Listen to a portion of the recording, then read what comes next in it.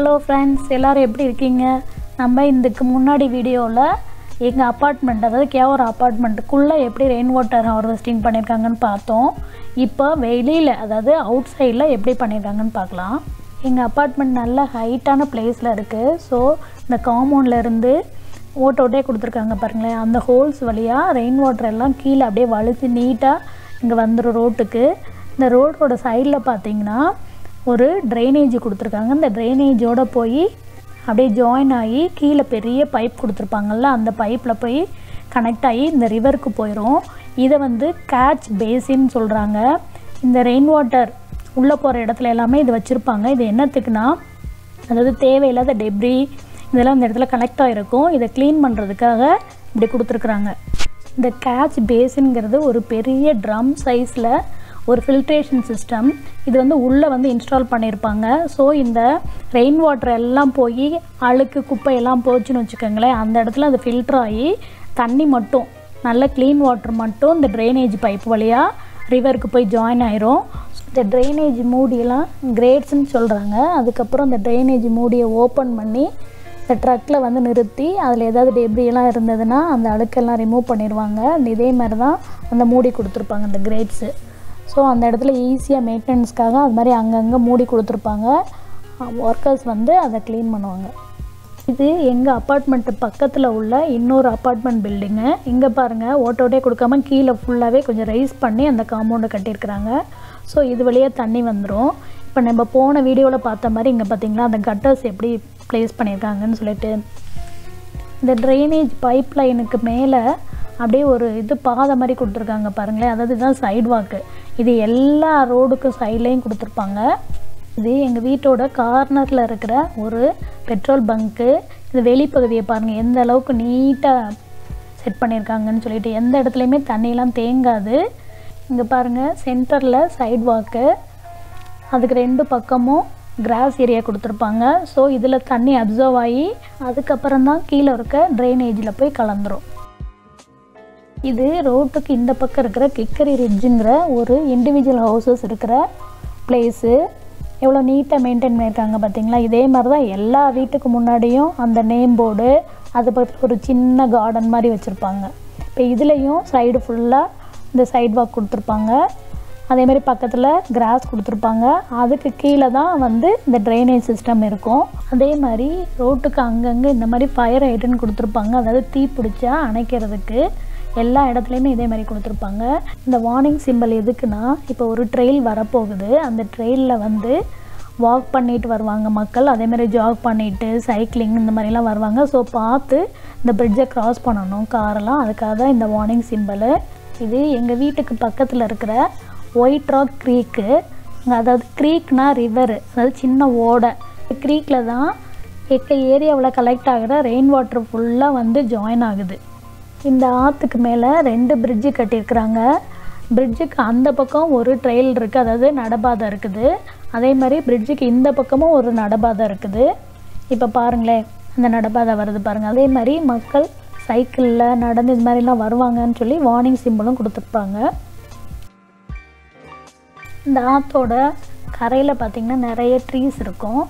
அதே மாதிரி இங்கே பாருங்கள் ஜாயின் பண்ணியிருக்காங்க பாருங்கள் வெளியிலேருந்து வந்து ரெயின் வாட்டர் எல்லாமே இங்கே ஜாயின் ஆகுது. இந்த ட்ரெயினில் நோ மோட்டார் வெஹிக்கிள்னு கொடுத்துருக்காங்க. ஸோ இதில் மோட்ரு பைக்லாம் போகக்கூடாது. சைக்கிளில் போகலாம் ஜாகிங் வாக்கிங் இது மாதிரிலாம் போகலாம். அது மாதிரி நாயை வாக்கிங் கூட்டிகிட்டு வருவாங்க அந்த ட்ரெயினில் ஸோ அதுக்கு தான் இந்த இடத்துல ஒரு டஸ்ட்பின் மாதிரி கொடுத்துருக்காங்கல்ல. அதாவது நாய் ஷீட்டெல்லாம் எடுத்து க்ளீன் பண்ணி இந்த டஸ்ட்பின்குள்ளே போட்டு விட்ருவாங்க சரியா? இந்த ட்ரெயிலுக்கு பேர் பிரஸ்டன் ரிட்ஜ் ட்ரெயிலு இந்த ட்ரெயிலோட நம்ம நடந்து போயிட்டே இருந்தோம்னா டேலஸோட போய் கனெக்ட் ஆகுமா? டேலஸ் வந்து எங்கள் வீ வீட்டில் இருந்து ஒரு இருபது மைல் தூரத்தில் இருக்குது ஸோ அவ்வளோ நீளமான ட்ரெயில் அப்படியே போய் போய் டேலஸ்க்கே போயிடலாமா? இங்கே பார்த்தீங்கன்னா ஒரு பெஞ்ச் கொடுத்துருக்காங்க. இப்போது இந்த ஒயிட் ராக் க்ரீக்கோட இன்னொரு பாலம் வருது. இந்த பாலம் என்னென்னா குடியிருப்பு பகுதிக்கு இடையில கொடுத்துருக்குறாங்க.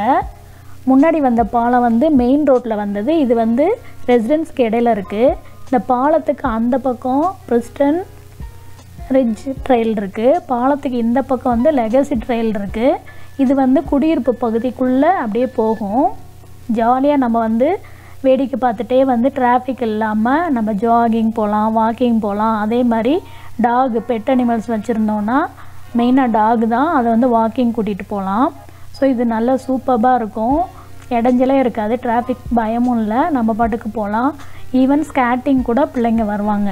இந்த ஆத்தோட கரையில் பார்த்தீங்கன்னா மண்ணரிப்பை தடுக்கிறதுக்கு நிறைய ட்ரீஸும் கொடுத்துருக்குறாங்க. அழகாகவும் இருக்கும். இங்கே பார்த்தீங்கன்னா பெட் வேஸ்ட் வந்து நம்ம எடுத்துடணும்.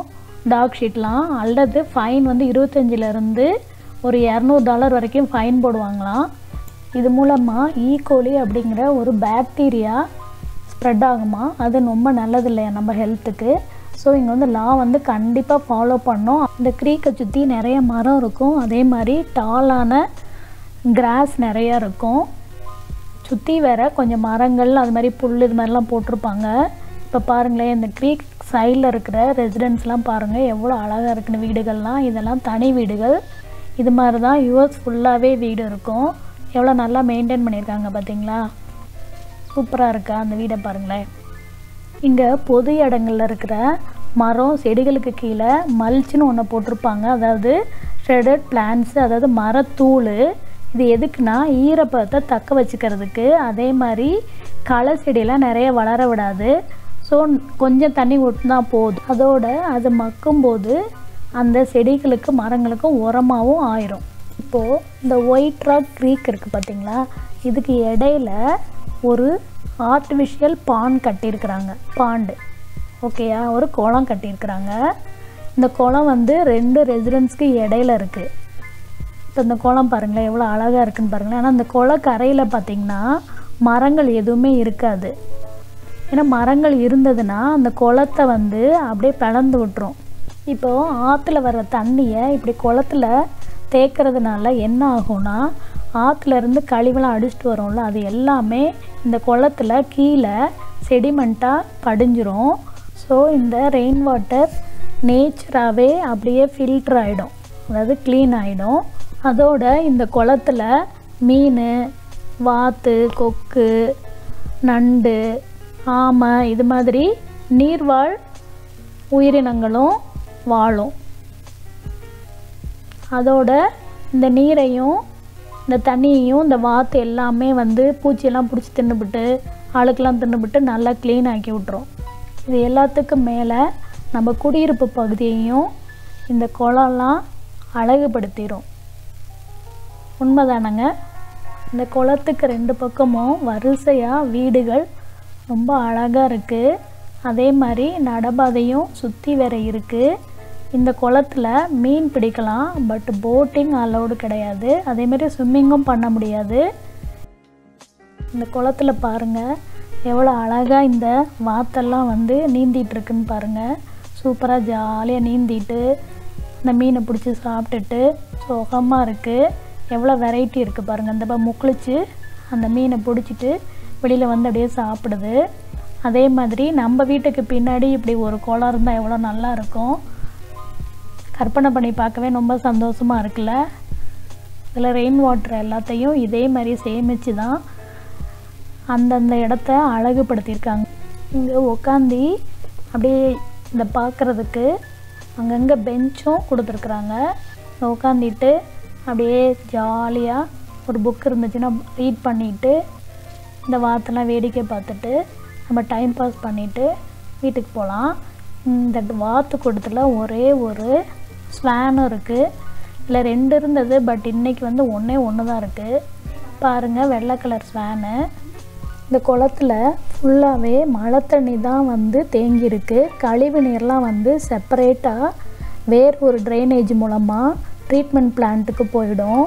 இது நியூவாக பில்ட் பண்ண சிட்டி அதாவது பிளேனோ அதனால் கழிவுநீர் செப்பரேட்டாகவும் ரெயின் வாட்டர் ட்ரைனேஜ் செப்பரேட்டாகவும் தான் பில்ட் பண்ணியிருக்கிறாங்க. ஸோ இது வந்து ஒன்லி ரெயின் வாட்டர் தான். ஸோ ரொம்ப க்ளீனாக இருக்கும். இது ஃபுல்லாக வந்து ஃபைனலாக லேக்குக்கு போகும். அங்கேருந்து சம்பில் ஏற்றி நமக்கு வரும். இங்கே பாருங்கள் இந்த குளம் ஃபில் ஆனதுக்கப்புறம் மீதி தண்ணி வந்து அப்படியே வடிஞ்சு இந்த ரிவரில் அப்படியே போயிட்டே இருக்கும். ஃபைனலாக இங்கே நிறைய லேக் இருக்குது அந்த லேக்கில் போய் ஜாயின் ஆயிரும். இதுதான் நமக்கு அப்படியே குடி தண்ணி இந்த பான் முடியும் போது ஒரு பிரிட்ஜ் வந்தது. இந்த பிரிட்ஜுக்கு அப்புறம் உள்ள குடியிருப்பு பகுதி எவ்வளோ நீட்டாக இருக்குது பாருங்களேன். இந்த ட்ரெயில் இன்னமும் கண்டினியூ ஆகுது.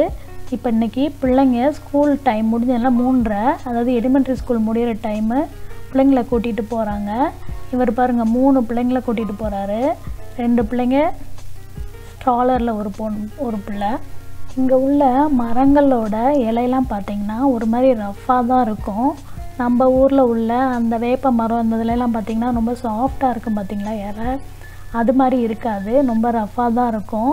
அப்போ தான் அந்த மாதிரி வெயில் பனி இதெல்லாம் தாங்க முடியுமோ என்னமோ தெரில ரொம்ப ரஃப்பாக இருக்கும். இங்கே பாருங்கள் ஒரு அம்மா ஒரு குட்டி டாகை வாக்கிங் கூட்டிகிட்டு போயிருக்கு பாருங்களேன். இந்த இடத்துல வந்து இந்த டாக் ஷீட் அள்ளி போடுறதுக்கு ஒரு டஸ்ட்பின் கொடுத்துருக்குறாங்க. அதே மாதிரி பிளாஸ்டிக் பேக்ஸும் அதிலே கொடுத்துருப்பாங்க. அதில் கண்டிப்பாக அள்ளி போடணும். இங்கே பாருங்கள் ஒரு அம்மா பெரிய டாகை வாக்கிங் கூட்டிகிட்டு போயிட்டுருக்கு. பாருங்கள் இங்கே வந்து பெட் அனிமல்ஸ் எல்லோரும் வச்சுருப்பாங்க. அதை ரொம்ப குழந்த மாதிரி பார்த்துக்குவாங்க அதுக்கு ஒரு தனியாக ஒரு கடையில் எல்லா இடத்துலையும் பார்த்திங்கன்னா அதுக்கு தனி செக்ஷனே இருக்கும். அது சம்மந்தமாக பெட்டு ஃபுட்டு அது இதுன்னு சொல்லிட்டு அதுக்கு தனி ரேக்கே வச்சுருப்பாங்க எல்லா பக்கமும். இப்போ நம்ம பார்க்குறது இன்னொரு க்ரீக்கு இது வந்து பிரஸ்டன் க்ரீக்கு அதில் உள்ள ஒரு பாண்டு இப்போ இதில் பார்த்திங்கன்னா இந்த வாத்தெல்லாம் நம்ம ஏதாவது இற போடுவோம் நம்ம பின்னாடியே வருது பாருங்கள் நடந்தோன்னா நமக்கு பின்னாடியே வருது. இதில் நிறைய பேர்ட்ஸ் இருந்துச்சு. வாத்து தவிர இன்னும் நிறைய இருந்தது. எனக்கு எல்லாத்தோட பேரும் தெரியலை. உங்களுக்கு தெரிஞ்சால் கண்டுபிடிச்சிக்கோங்க. நான் அந்த வீடியோவில் காமிக்கிறேன். இதில் வந்து கருப்பாக ஒரு பேர்டு இருக்கும். அதை எங்கள் வீட்டுக்கார் வந்து இங்கே உள்ள அதாவது காக்கான்னு சொல்லுவார். அமெரிக்கா காக்கான்னு சொல்லுவார். இந்த பிளாக் கலரில் நான் நினைக்கிறேன் அது குயில் மாதிரி இருக்குது. ஆனால் இவர் வந்து காக்கான்னு சொல்கிறாரு இந்த பாண்ட் வந்து நம்ம முதல்ல பார்த்தோம்ல ஒயிட் ராக் க்ரீக் பாண்ட் அதை விட நல்லா அகலமாக பெரிய பாண்டாக இருக்குது இதில் பார்த்தீங்கன்னா இங்கே பாருங்களேன் கொக்கெல்லாம் இருக்குது பாருங்கள் நிறைய கொக்கு இருக்குது நிறைய சீ பேர்ட்ஸ் இருந்தது. அதே மாதிரி ஆமை கூட இருக்குது. ரெசிடென்ஸ் பாருங்கள் சூப்பராக இருக்கா? சுற்றி வேற இங்கே வாத்தெல்லாம் நிறைய வெரைட்டிஸ் இருந்தது. அதே மாதிரி எக்கச்சக்க பேர்ட்ஸ் இருந்தது. இங்கே பாருங்களேன் இது ஒரு பேர்டு அதே மாதிரி இதுதான் வந்து காக்காவாம் பாருங்களேன் அமெரிக்கா காக்காவை? இங்கே பாருங்கள் ஒரு குட்டி வாத்து. கரையில் வந்து நின்றுட்டு வெயில் காஞ்சிட்டு ரெக்கையெல்லாம் கோதி விட்டுட்ருக்குது இங்கே பாருங்கள் ஒரு ஷைனிங்கான ஒரு பேர்டு இதுதான் அவர் காக்கான்னு சொல்கிறாருன்னு நினைக்கிறேன். இது காக்காவா குயிலான்னு தெரில நீங்களே பார்த்துக்கோங்க. இப்போது ஒரு ஆமை வருது பாருங்கள் ஒரு பிளாக் இருக்குது சிமெண்ட் பிளாக்கு உள்ள. அதில் அந்த ஆமை இருக்குது இங்கே பாருங்கள் இந்த வாத்தெல்லாம் எவ்வளோ வெரைட்டியில் இருக்குது பாருங்கள் அப்படியே க்ரீன் கலரில் கழுத்து ஒரு மாதிரி ப்ரௌன் கலரில் உடம்பு ஒயிட் கலரில் இது மாதிரி எக்கச்சக்க வாத்து இருக்குது சூப்பராக ஜாலியாக ஸ்விம் பண்ணிவிட்டு எவ்வளோ என்ஜாய் பண்ணுது பாருங்களேன். சூப்பராக இருக்குல்ல. இந்த ரெண்டு வாத்தும் பாருங்கள் கரையில் வந்து நின்றுட்டு அப்படியே ரெக்கையெல்லாம் கோதிட்டு ஜாலியாக குளிர் காஞ்சிட்டு நின்றுட்டுருக்குது இப்போ இந்த வாத்தெலாம் பார்த்தா உங்களுக்கு எந்த பாட்டு ஞாபகம் வருது? இது எங்கள் வீட்டுக்கு பக்கத்தில் இருக்க ரசல் கிரிக் பார்க்கு. இந்த பார்க் ஏரியாவில் உள்ள ரெயின் வாட்டர் எல்லாம் கலெக்ட் பண்ணி இந்த பார்க்குக்குள்ளே ஒரு பாண்ட் செட் பண்ணியிருக்காங்க. எவ்வளோ சூப்பராக இருக்குது பாருங்கள் இது ரசல் கிரிக் பாண்டு இதை சுற்றியும் நிறைய ட்ரீஸ் இருக்குது ஒரு காடு மாதிரி இருக்கும். அதே மாதிரி இந்த பாண்டை சுற்றி ஒரு பாத் கொடுத்துருப்பாங்க. அதில் மக்கள் எல்லாம் வாக்கிங் ஜாகிங் ரன்னிங் எல்லாம் பண்ணுவாங்க. என்ன ஃப்ரெண்ட்ஸ் எல்லோரும் என் வீடியோவை பார்த்து என்ஜாய் பண்ணிங்களா? என் வீடியோ பிடிச்சிருந்தா like share comment and subscribe மீண்டும் ஒரு வீடியோவில் சந்திப்போம். Bye bye take care enjoy your life